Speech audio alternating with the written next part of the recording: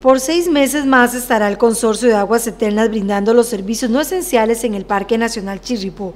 El 15 de octubre vence el plazo de la última contratación que hizo el Sistema Nacional de Áreas de Conservación. Sin embargo, al no tener el proceso de licitación correspondiente, se firmará una ampliación hasta abril de 2020. Así lo confirmó la administradora de esta área protegida, Laura Díaz, quien indicó que se espera realizar la firma a finales de agosto o principios de septiembre.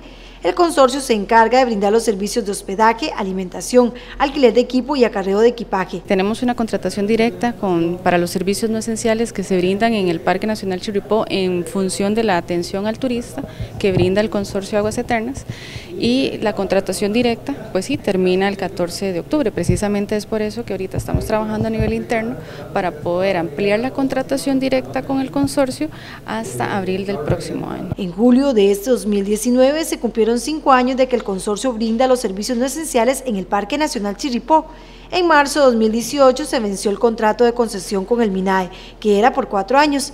Sin embargo, a la institución al no tener el proceso de licitación se dieron dos prórrogas de seis meses cada una.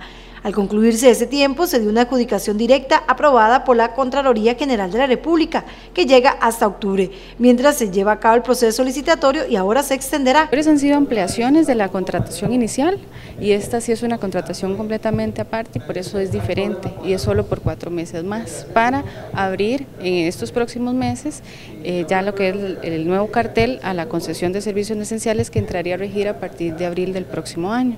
Esas decisiones se toman para que el turista siga disfrutando de las bellezas del parque y que cuente con la atención necesaria. Es algo con lo que estamos corriendo porque no podemos simplemente cesar el servicio al turista, ¿verdad? Ya para nosotros es una gran responsabilidad y la calidad del, servicio que se brinda ahora con el consorcio pues ha sido maravilloso y así lo, así lo dicen las sugerencias en, el buzón que tenemos arriba, que me gustaría también invitar a, a las personas turistas que nos visitan que por favor hagan sus sugerencias y sus recomendaciones eh, tanto en términos positivos como negativos, ¿verdad? A veces solo vemos lo negativo, pero veamos un poquito también lo positivo de las cosas y el servicio ha mejorado mucho gracias a la empresa comunal que ahorita estamos escuchando eh, en esta en esta actividad. Este consorcio lo conforman la Asociación de Desarrollo Integral de San Gerardo de Rivas, la Cámara de Turismo Rural Comunitario Chirripó y la Asociación de Guías, Arrieros, Porteadores y Cocineros del Chirripó.